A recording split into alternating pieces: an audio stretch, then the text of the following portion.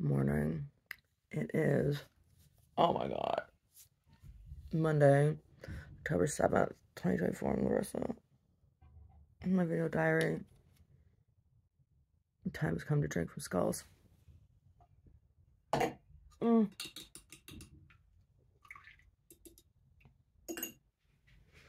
Oh, why is the lights like that? I don't know. Did that help? I don't know. Did it? Time has come. Drink from skulls. So, I am uh, working on a new novel, and I uh, finished the third chapter yesterday, and I'm about halfway through the fourth chapter now. The fourth chapter is giving me a little bit of trouble, and it's because I'm at a point where I'm going to make a couple decisions about character development. Right? So, I was telling, talking to Omar about it a little bit yesterday. There's going to be a big transformation. I want there to be a big transformation in this main character. And one of two things may happen to convey that. It's possible that both of these things are going to happen.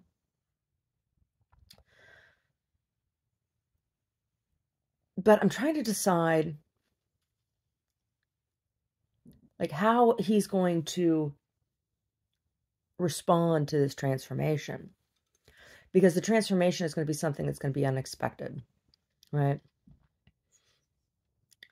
You know, there's not going to be a big reveal. And there, there, so I'm, I'm, I have to, where I'm at right now is showing, oh God. Uh, uh.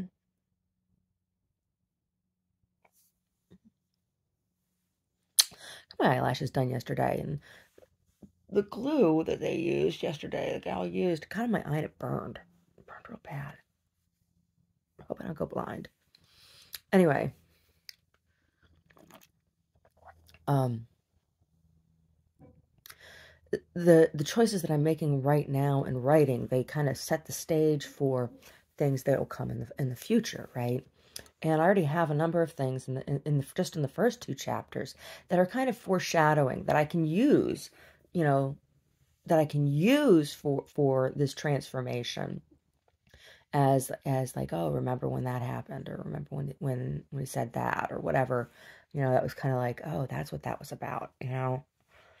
Or i can just leave it be and it doesn't matter right? It's just something else in this just you know a detail in the story. But i like all of my details to have a purpose right? And have that purpose revealed and so, you know, writing the first couple chapters, it's like, okay, you have all these little details. And it's like, what are these details going to reveal? It's like, what's going to happen? It's kind of like, it's kind of like an advent calendar. What's behind the little door, right? What kind, what's, what's the candy?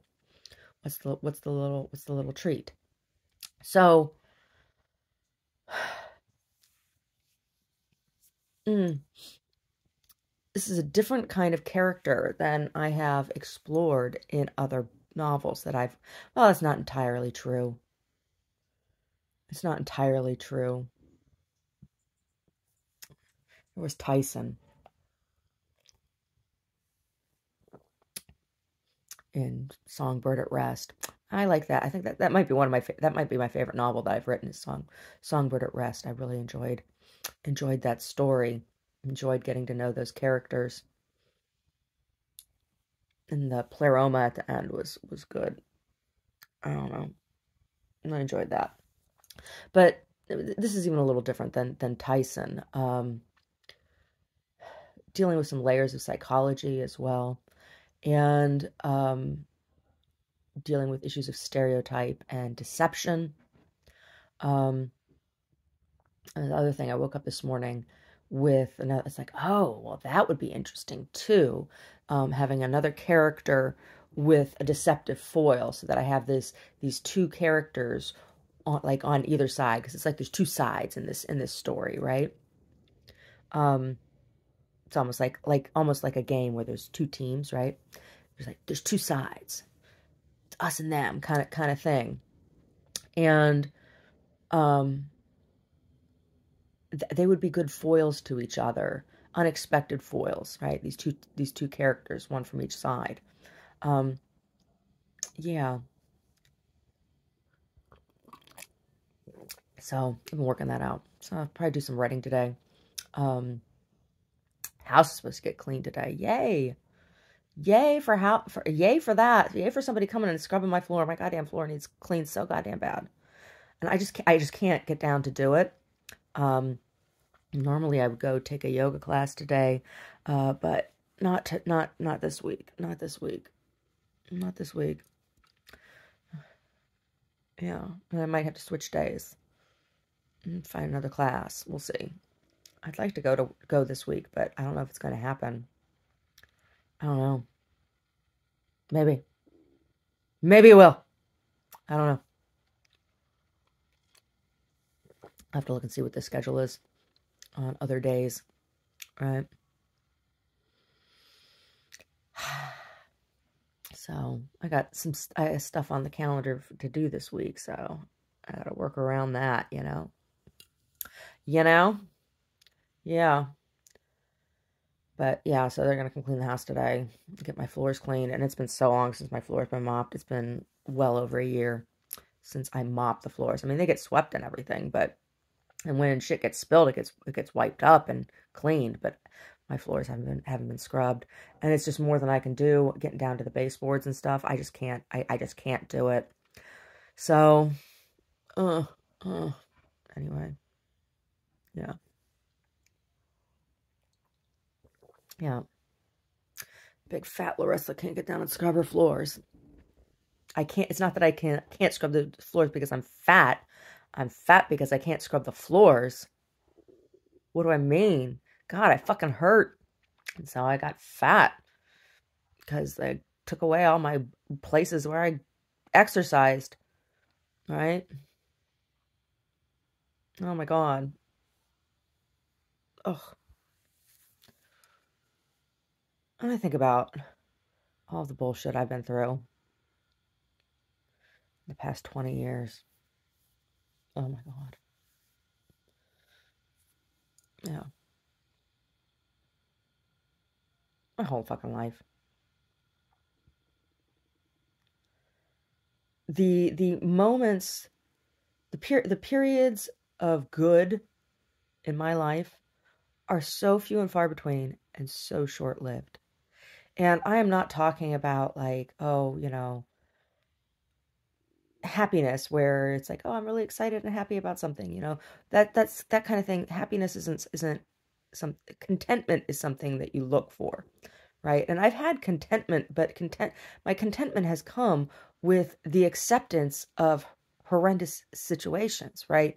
Kind of like these choices I've made choices to not be super super miserable when you could argue it was just it would have been justifiable right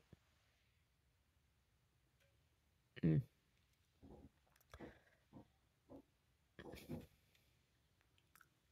i just i'm uh, you know grateful that i have a clean bed to sleep in indoors and um food to eat right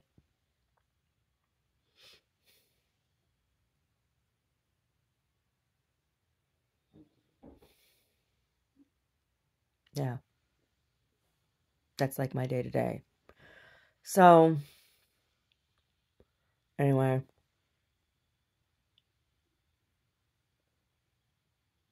I wonder if they'll take down that moth cocoon over there. I've been leaving it up there. I've been leaving it there. I wonder if they'll be like, ew, take it down. Yeah.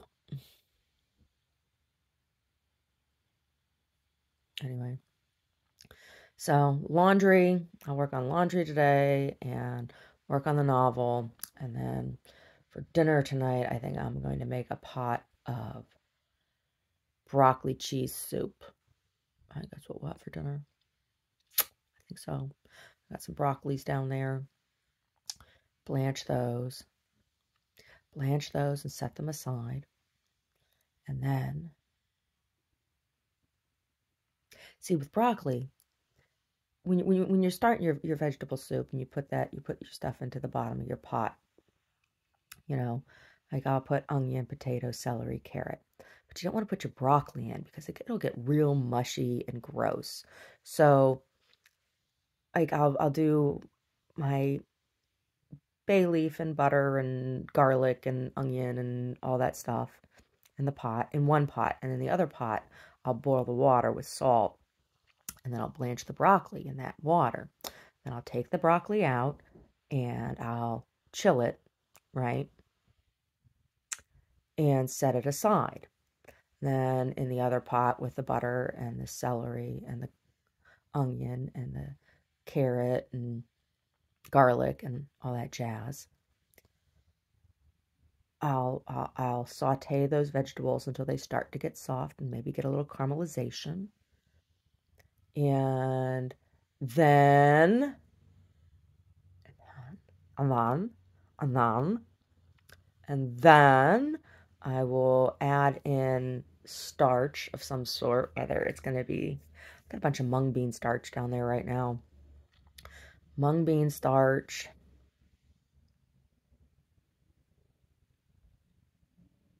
Yeah. And cheese.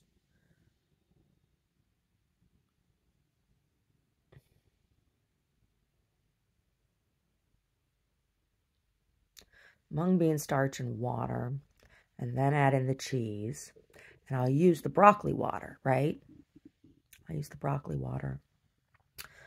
Use that broccoli water.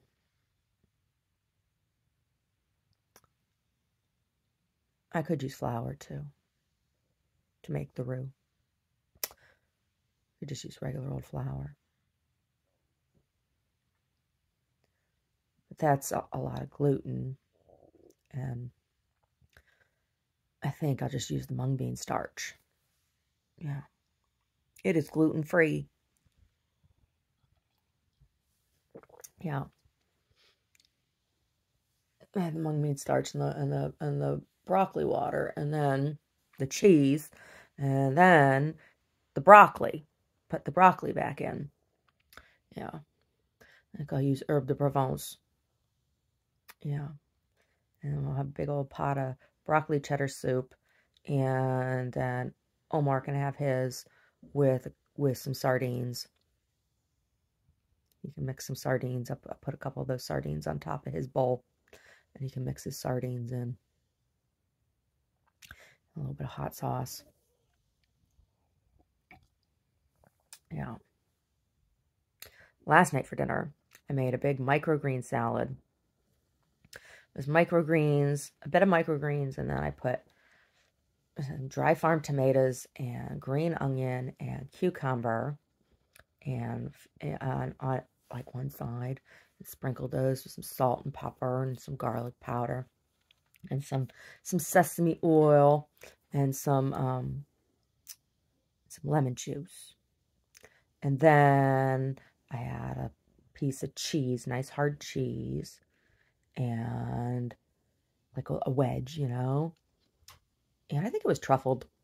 It tasted like it was truffled. I buy the schmanks of cheese, the little schmankas. You can get at Whole Foods when they when they cut up their cheeses and stuff, and they got the little schmankas left at the end that aren't really as big as the other pieces, and they weigh them, and they're like you know one or two servings, you know, kind of thing, little schmankas. So it's just a schmank. I cut the schmank in half, and uh, then some olives, a couple olives, and falafel patties. So I air fried air fried falafel patties and potato little potatoes. They weren't real big, just they were smaller than my fist. Cut them in quarters, like air fried potato wedges. And then I mixed up some labneh with tahini and garlic and sesame oil and salt and pepper. And um, oh, it's a herb mix that I got for kufta is savory and mint and and fenugreek and oregano and parsley and chives. Yeah. Oh, and I mixed in some uh, sumac. So it was like the, it was like the dipping sauce, right, for the for the potatoes and the um and the falafel and all of that was on the bed of microgreens. So it was like I don't know, it was like a deconstructed salad slash mezza. I had had a couple uh, dolma, those would have gone well on that too. But I didn't. I haven't made those in a while. I should make them. Maybe I'll make those for Christmas. I asked Omar what he wants for Christmas or Thanksgiving, and he, he's like, I don't know, pierogies. I'm like, really? What pierogies? Okay. Pierogies for Thanksgiving. I don't know, Christmas. Christmas, maybe I'll do dolmas. I've done dolmas for Christmas a number of times. Yeah. My Jerusalem feast. My Bethlehem feast. Uh, uh, ah make dolmas and hummus and baba ganoush and uh made almost some kebabs that year. I did those I did those dolmas. Lamb. Lamb. I don't eat the lamb anymore. No, no, no. No.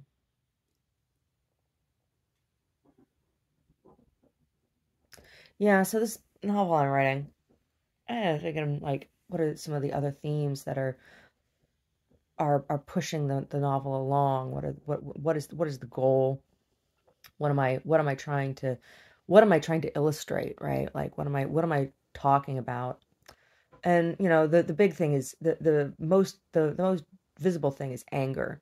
But um it's really about righteous anger and and justified self-defense um in some ways uh, it, it's you know uh, i don't know i've been thinking about um, the film Falling Down and the film, um, it was a comedy film called Anger Management. Um, and then the books, the books that I've been thinking about, The Stranger, like Camus' The Stranger, not Stranger in a Strange Land, land not Heinlein, but Camus' The Stranger, and um, Lolita, but without the without the sexual theme right?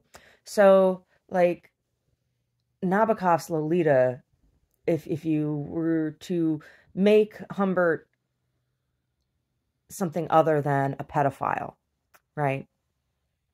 Having some other quirk um, that that is problematic, and still have him in relationship have some of these similar relationships, you know, whatever. Like, let's say, oh, Falc- there's the book Falconer, the book Falconer about the guy who's the English professor who is a heroin addict and he's in prison for being an addict. And the book is about him going through withdrawal and his his moral and ethical struggle with himself about, you know, being an upright person who's educated, you know, even and here he is in prison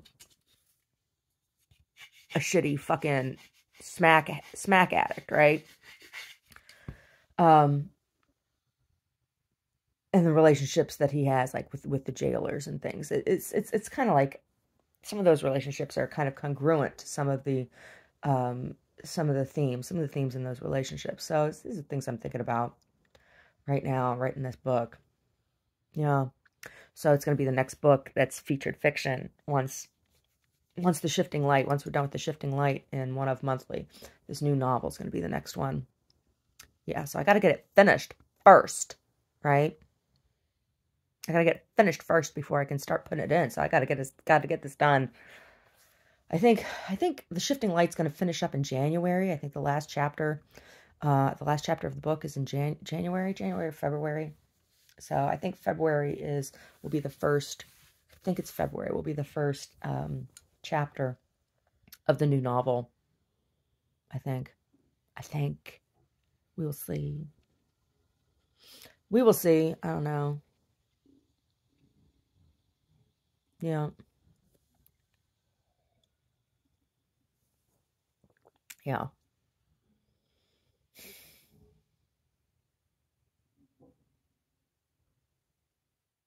Righteous anger. Righteous anger is a theme here. But there's there's a fine line, and that's the main character. The main character rides that fine line, and I think there's going to be a revelation that's going to come where uh, about about him crossing that line, and um, it's gonna be like devastating to him. when he when he realizes it when he's like oh my god i think we'll see we'll see. I haven't i haven't fleshed out. So like the, there's there's like there's six people that are in this group together learning about their anger right? Like and i i have to i haven't figured out like what everybody's thing is just yet.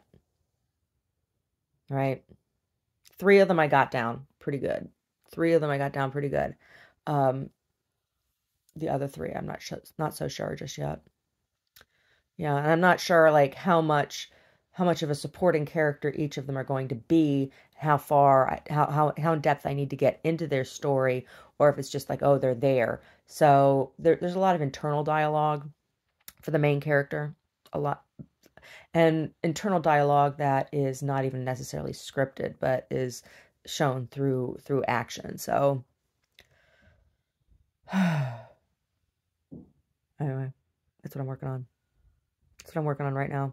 I want to get started on that painting, but that's not going to happen until next week because it's not going to happen until after court. Court is this is this Friday, and oh my god, I can't wait to have that out of the way. That's the other thing I got to do today. I got to finish putting together my binder.